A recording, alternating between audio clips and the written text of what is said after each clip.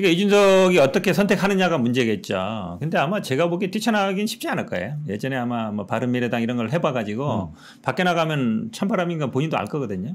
그러면 이제 안에서 어떻게 할 건가. 제가 보기에는 아웃되는 분위기긴 한데 제가 보기엔 또 정치 생명을 끊지는 않겠다. 완전히 그렇죠. 완전히 네. 그렇게 하지는 않을 것 같아요. 그래요? 그리고 왜냐면 이 지금 그만둬 버리면 예. 비대위로 가야 돼요. 6개월 이상 남으면은 전임 임기만 하는 거거든요. 남은 임기만 하는 거라서 오히려 지금 그만두지 않길 바랄걸요. 아 그건 당연하죠. 예, 내년 1월 이후에 그만둬야 이제 새로 뽑고 2년 가는데 지금 그만둬 버리면 남은 임기만 하니까 대- 제가 듣기로는 뭐. 남은 임기에 욕심내는 분들도 있대요. 아 진짜요? 네. 어, 진짜? 어. 대표님께 김기현 뭐 이런 의원들이 아, 아. 네. 그리고 그 남은 임기에 네. 내년 6월까지? 네. 잠깐만요. 나 궁금한 게 있어. 김기현은 왜 그런 거야 도대체? 이제 이 몸집- 6개월짜리 아무 공천권도 없는데 아니죠 몸집을 키우는 거니까.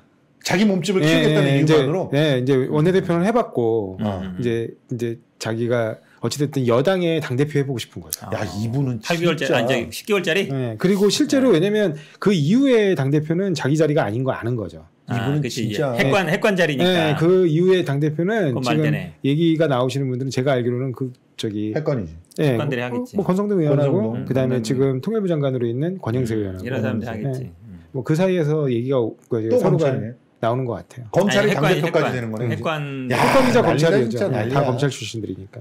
진짜 아. 검찰 왕국이야 검찰 왕국. 아, 그 남은 임기를 한다는 거, 어, 그거는 쇼킹한데. 왜냐면 여당 당 대표를 이 해보고 싶은. 거예요. 아, 오케이, 오케이. 그럼 여태껏 김기현이 마음 먹기를 기다리고 있었던 건가?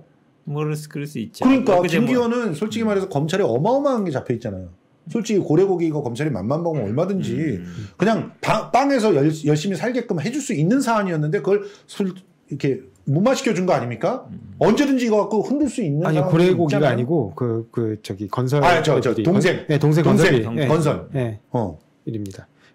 그러니까 이 건을 가지고 언제든지 음. 공격할 수가 있는 쉽지는 않을. 거예요. 왜냐하면 그 건으로 없는 사건을 만들어낸 것처럼 일단은 이미 기소를 해버렸잖아요. 예. 이그 전직 그러니까 예를 들면 문재인 정부 청와대에 예. 있었던 사람들을 다 기소했기 때문에 검찰이 그걸 기소해놓고 사실은 그게 아니라 원래 그건 김기현이는 수사 대상이 하, 하는 게 맞아. 한 건만 있겠어요? 예, 그러니까 그렇게 동생이 그한 건만 있겠냐고.